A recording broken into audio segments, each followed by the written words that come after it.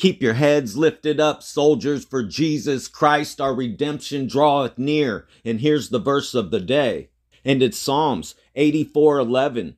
For the Lord God is a sun and shield. The Lord will give grace and glory. No good thing will be withhold from them that walk uprightly. And Jesus Christ said the signs would be in the sun and in the moon and in the stars, and they are. And the signs and the confirmations that he's revealing are gigantinormous. All glory to our Father in the name above every name, Jesus Christ, Yeshua HaMashiach. Praise you, Father, for the Ruach HaKodesh, the Holy Spirit. And what I'm about to show you and share with you is off the charts, family. And as you can see right here on time and date 2024, when you go to April 8th, the total solar eclipse is a super new moon. And the UTC time for that super new moon is 1820.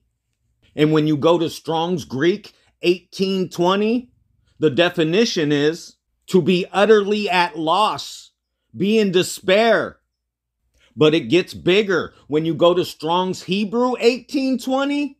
This cannot be denied. The definition is to cease, cause to cease, cut off, destroy. 1820, the time of the super new moon, UTC time. On the great American solar eclipse that makes an X. 1820, destroy. And when you scroll down, this is what's so gigantinormous. And it's right here under Strong's exhaustive concordance. And this is not a coincidence. It says to destroy, cease, be cut down, off, destroy, be brought to silence, be undone. X, utterly. X, utterly, destroy and many people will be left behind. And when you go back to Strong's Greek 1820, it's right there. Left in the straits with no way out, without exit. And remember, this all started with the Revelation 12 sign on 9 19, 2023, when the woman was clothed with the sun and the moon was under her feet and child was in the woman.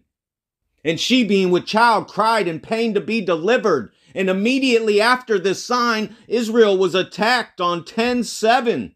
And when you go to time and date calculator and you go to 10 7 when Israel was attacked and the war started, and you add 184 days, it lands on the great American solar eclipse on April 8th. 4 8 like Exodus 4 8, and it shall come to pass if they will not believe thee, neither hearken to the voice of the first sign, that they will believe the voice of the latter sign. Well, here's what's so gigantinormous about it being 184 days since the war started, landing on the eclipse. When you go to Strong's Hebrew 184, the definition is to sign, mark, describe with a mark. And when you type in X means Christ, you could see right there it says respected worldwide atheists and antichrist made the decision to change it by replacing the name Christ with an X to mean that there is no Christ. And remember, Elon Musk changed Twitter to X. And right below that, you can see X is the first letter in the Greek word for Christ. And you already know in Hebrew, X is to seal, to make a covenant, to join two things together, or to make a sign. Tav. Again, all glory to you, Father, for showing us these confirmations in your signature and showing us it's 184 days from when Israel was attacked into the great American solar eclipse. 184 to sign, mark, describe with a mark. And when you scroll down, there's only one occurrence in the whole Bible, and it's Numbers 34:10. You shall also draw a line, and ye shall point out your east. The sun rises in the east and sets in the west. And a glimpse at the map of the April 2024 North American solar eclipse, however, shows a path from west to east. And ye shall point out your east. And Jesus Christ comes like lightning from the east to the west. And there's another mark coming after the rapture. And Jesus Christ said, And he causeth all, both small and great, rich and poor, free and bond, to receive a mark in their right hand or in their foreheads. And that no man might buy or sell, save he that had the mark, or the name of the beast, or the number of his name. So you already know whoever's left behind will not be able to buy, sell, or trade without the mark of the beast. And you already know the great reset that the world is talking about is going to lead to a one world digital currency. And the people left behind will not be able to buy, sell, or trade unless they take the mark and they're linked to the internet and this digital currency. And the devil is already preparing everyone that's going to be left behind for this digital transformation. And all glory to our Father in the name above every name, Jesus Christ. I already debunked the OSAS theory with the Word of God, the truth. And the truth, Jesus Christ, showed me that when you type in osas.com, ready for digital transformation pops up. This is not a coincidence that the devil linked osas.com to digital transformation. The people left behind that take the mark of the beast will be digitally transformed to a one world digital currency to buy, sell, and trade. Without that mark and that digital transformation, they will not be able to buy, sell, or trade. And if they don't worship the beast or take his mark, they will be killed. So if you're left behind, let them kill you. Let them behead you. Do not reject Jesus Christ. Do not denounce Jesus Christ. Do not take the mark of the beast.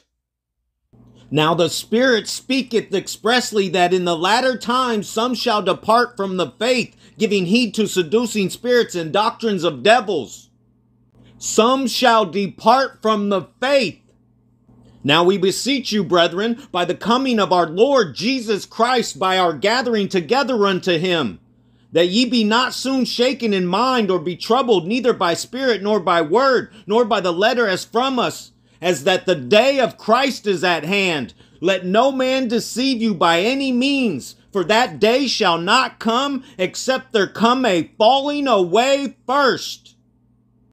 Apostasy specifically is referred to a willful falling away from or rebellion against Christianity.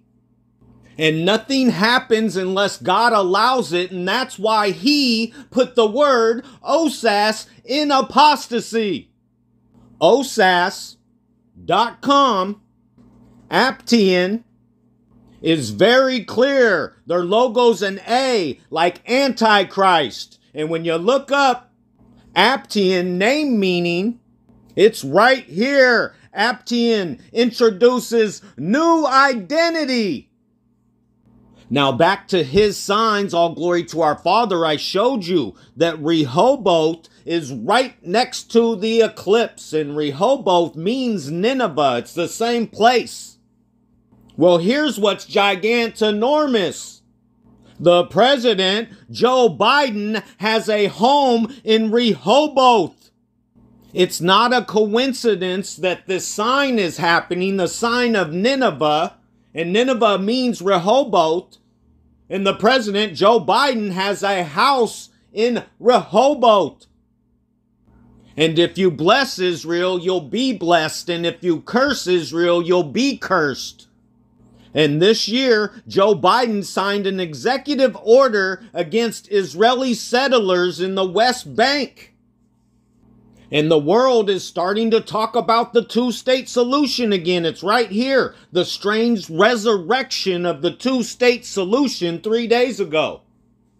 And I believe Jesus Christ is showing us the reason why Israel was attacked and they took hundreds of hostages is to use the hostages as leverage to push the two state solution.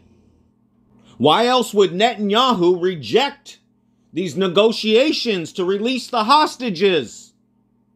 More than likely, they're telling him that they will release the hostages if he divides the land and pushes through the two state solution. Obviously, that's why Biden is calling Netanyahu a a hole. He is frustrated by Prime Minister's refusal to change tactics in Gaza and agree to Saudi normalization framework. Put it together, family. The war, Israel being attacked, is all part of the plan to divide the land. And anybody that's saying that you do not have to repent from sin is highly deceived. And if they're pushing the sign of Jonah, Nineveh, then they're hypocrites. God told Jonah to go to Nineveh and tell them to repent. That's why God is giving us this sign the sign of Jonah, Nineveh. He's telling America and the world to repent from sin.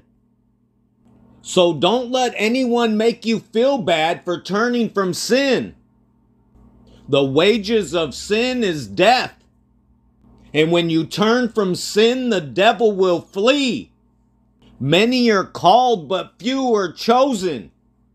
Enter ye in at the strait gate, for wide is the gate, and broad is the way that leadeth to destruction, and many there be which go in thereat. Because strait is the gate, and narrow is the way, which leadeth unto life, and few there be that find it. Beware of false prophets which come to you in sheep's clothing, but inwardly they are ravening wolves. Ye shall know them by their fruits. Do men gather grapes or thorns or figs or thistles? Even so, every good tree bringeth forth good fruit, but a corrupt tree bringeth forth evil fruit. A good tree cannot bring forth evil fruit, neither can a corrupt tree bring forth good fruit. Imagine that. Every tree that bringeth not forth good fruit is hewn down and cast into the fire.